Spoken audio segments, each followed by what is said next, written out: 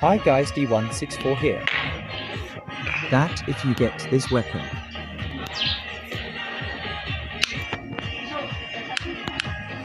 The bludgeon. And resize the head. And now it's long.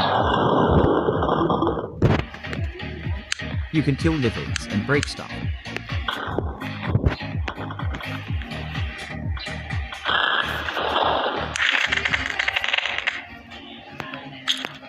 The end.